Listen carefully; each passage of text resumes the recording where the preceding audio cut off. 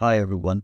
In this video, I'm looking at the debate between reductionism and holism. When thinking about the mind and trying to understand cognitive processes, is it better to zoom in on the tiny details or just step back and view the bigger picture?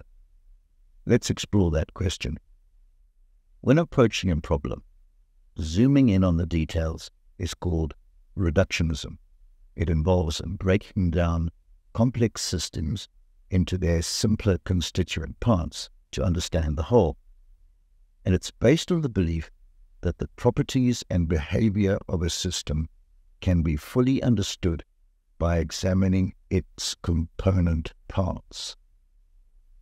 Imagine you're looking at a complex machine and you decide to understand it by examining each screw gear and wire separately.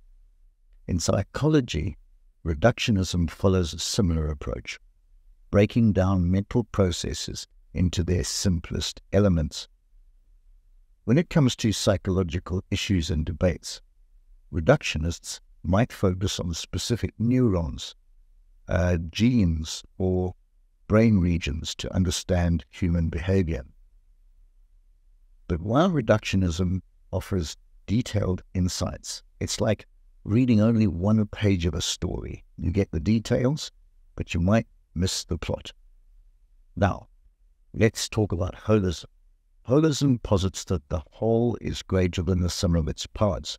This approach emphasizes the importance of the relationships and interactions between the components of a system. Holism is like stepping back to view the entire landscape instead of inspecting each tree. In psychology, a holistic approach might explore how our experiences, culture, and emotions interact and influence how we remember. Holism offers a more complete picture than reductionism, but sometimes it can be too broad, overlooking the finer points of individual components. So, how do we balance these perspectives? Well, we can think of reductionism and holism as being like two lenses. One zooms in and the other zooms out.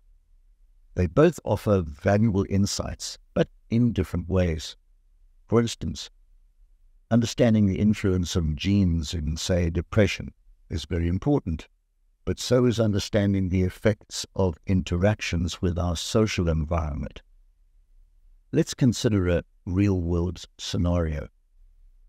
Imagine someone experiencing memory loss.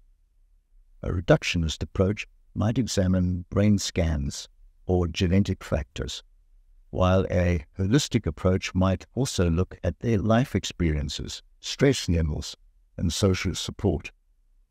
Both perspectives can provide us with a fuller understanding and better ways to help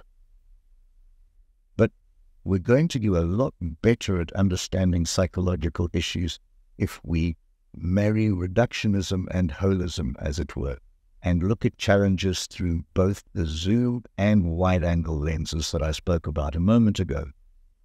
You can also think of it like this in the puzzle of the human mind, every piece matters, but how they connect is just as important. Thank you for watching Hope you found that useful. See you next time.